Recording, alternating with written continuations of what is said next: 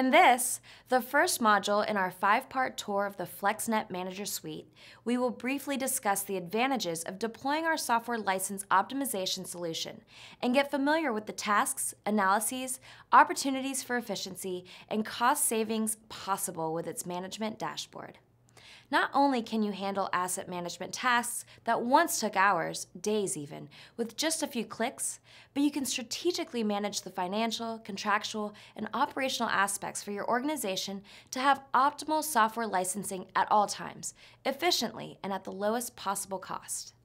The FlexNet Manager Suite is designed to optimize purchasing, maximize utilization of assets, reduce software spending, maintain license compliance to reduce risk, and significantly reduce the manual activities associated with software asset management.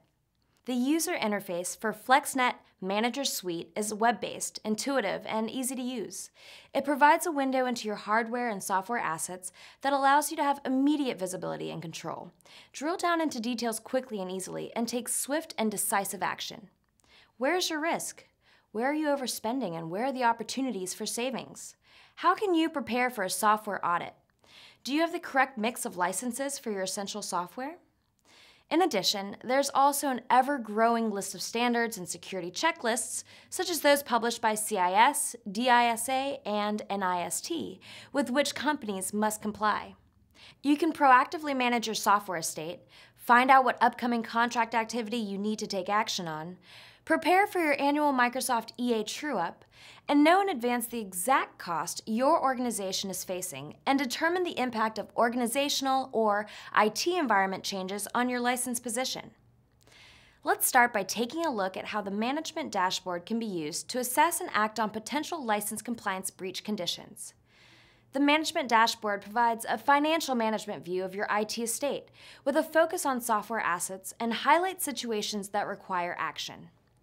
A series of data cards are presented with all the information that you need to review and analyze the entire estate. You can immediately spot license compliance breach conditions. In this case, the potential true-up cost is in excess of half a million dollars across five different publishers, Microsoft, Oracle, IBM, HP, and VMware.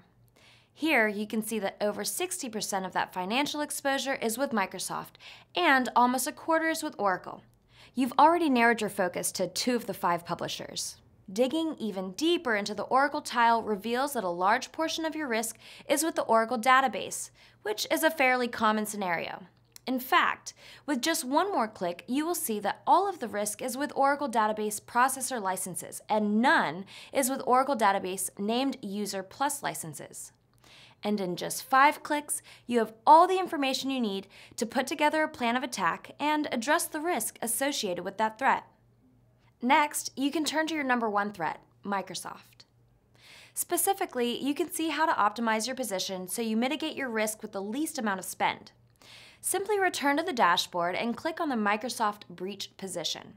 This shows exposure with Windows Server, SQL Server, and Project. Drill down into each one to view your compliance position and where you might have an opportunity to optimize. In this grid view of all your current licenses for Microsoft Project, you can see that your risk lies with Project Standard. The next screen shows that there are 38 installs of Project Standard, and only 25 licenses have been purchased you may be able to reduce your overconsumption of Project Standard 2010 by applying products use rights that are available to these licenses, such as downgrade rights, second use rights, and multi-install rights. We saw on the previous screen that you were overbuying Project Standard 2013. You may be able to apply downgrade rights for Project Standard 2013 to Project Standard 2010 so that Project Standard 2010 installations can be covered by these existing licenses. In the consumption view, you can also see every instance of Microsoft Project that's been used or not in the last X number of months. This date range can be set to your specific business requirements.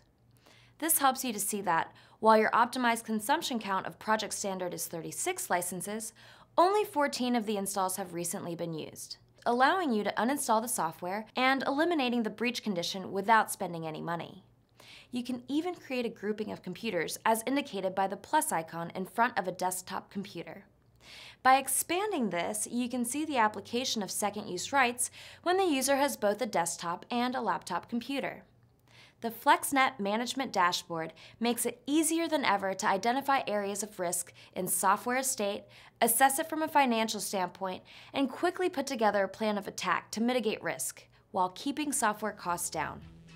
In the next section, we will see how to identify software overspend and reduce ongoing costs for software.